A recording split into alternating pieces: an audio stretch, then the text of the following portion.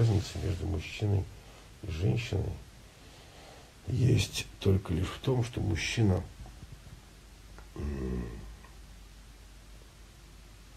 слаб, а женщина не осознает это. Поэтому дает мужчине уверенность. Он смотрит, ему кажется, что она сильная, что она мудрая, потому что она не осознает слабости и страха. У нее есть страхи, у них есть, но она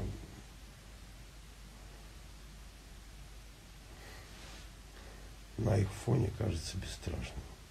Потому что они такие же, как у мужчин. Но женщина сама по себе нежнее и более нежное существо. Поэтому внушает, может внушить мужчине покой. Мужчина не умеет это делать.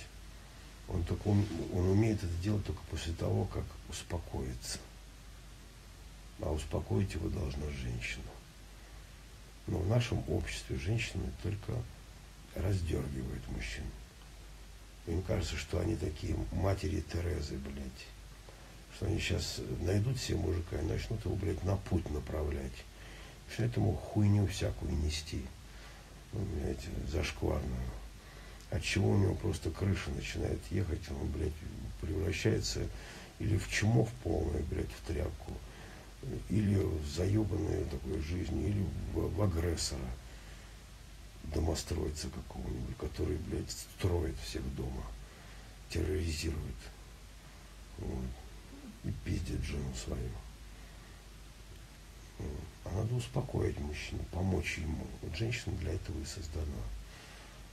Она помогает ему, успокаивает и получает потом, ну, это без желания что-то получить искренне успокаивает, не какими-то вот этими штучками женскими. Первый день приготовила еду, ему сказал, какой ты хороший, погладила, потом, говорит, э, снежную королеву его пинками гонит, чтобы он ей шубу покупал, блядь. Вот так ничего не будет.